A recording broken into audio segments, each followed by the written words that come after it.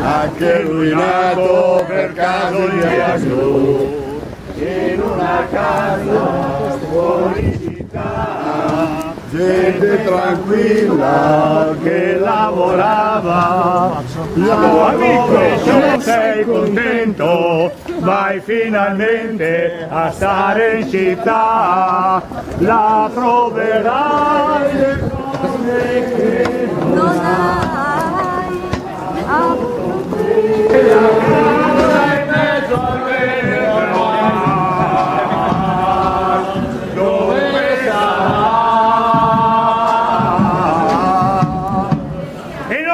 capisce perché continuano a costruire le case e non lasciano l'erba! E non lasciano l'erba! Ma la volete lasciare quest'erba o no?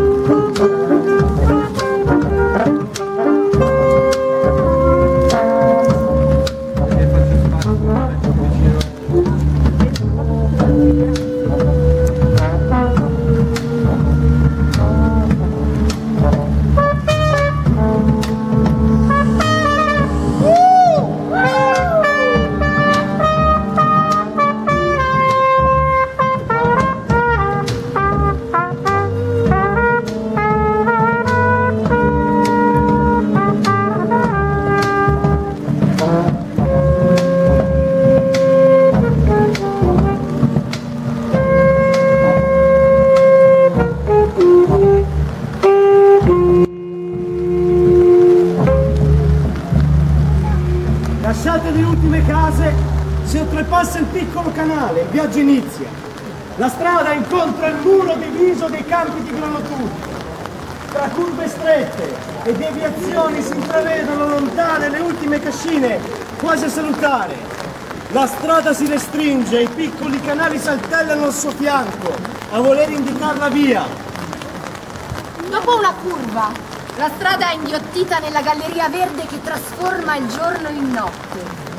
Prima dell'arrivo al piccolo ponte si apre davanti agli occhi l'oceano dei campi verdi e in lontananza si intravedono le montagne d'alberi che segnano il confine. Al piccolo ponte bisogna proseguire a piedi. Strada fa di pietra. Due guardiani con rami alti accolgono chi arriva e difendono l'ultimo presidio.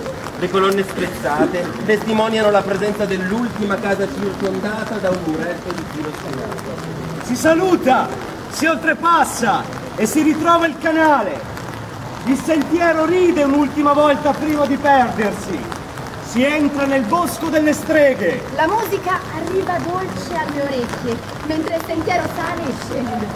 Prima del bivio si arriva ad una piccola pozza, dove bisogna togliersi le scarpe. Si prosegue a piedi nudi fino al bivio. Tre strade. La prima sulla sinistra inganna, la seconda sulla destra si perde. La terza, la centrale, è quella giusta. Si perde in mezzo agli alberi dove si ascolta il canto delle streghe. Dopo l'ultima salita si sente l'odore del cielo. Si apre lo sguardo, si oltrepassa l'ultima collina e si arriva al fiume. Male! Male, male, male.